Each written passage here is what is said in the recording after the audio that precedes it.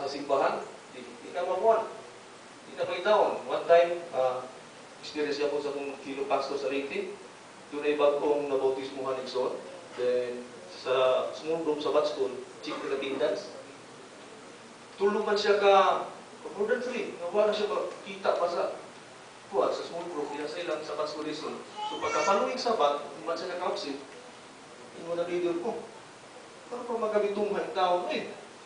Ah, i-drop kong dati ko dali kay saksisi mo mga ah, ah, kuhan, absent i-drop ko. Siya nga, ila siya siya. Itong wala ko din eh. Ito ang tambo dito sa panimalay na ako. Nag, yung nagkuha na ko siya. Susuko ko, nagsakit.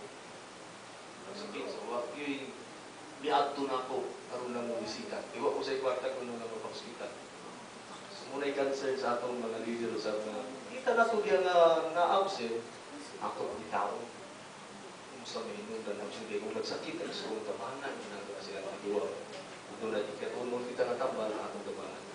So, nahitabo ito niya, na-feel man siya nga murag di siya wake up na nga group, iba rin siya line of Jews.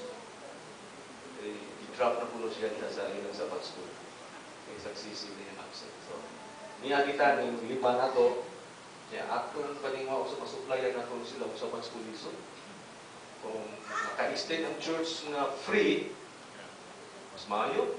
Eh, kuha man na siya.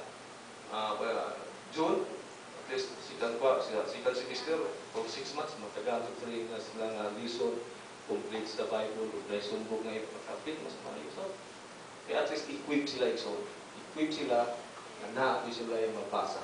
Okay? Ang pagturo sa Bible, ipagsabto nga, nahuman na ito pagturo sa Bible, pagkuman usap sa presentation ni G3. Uli sa balay, continue tao study.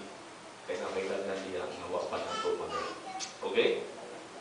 Ah, uh, kung yan yung mag-isunas paparok, kuban sa mga candidates,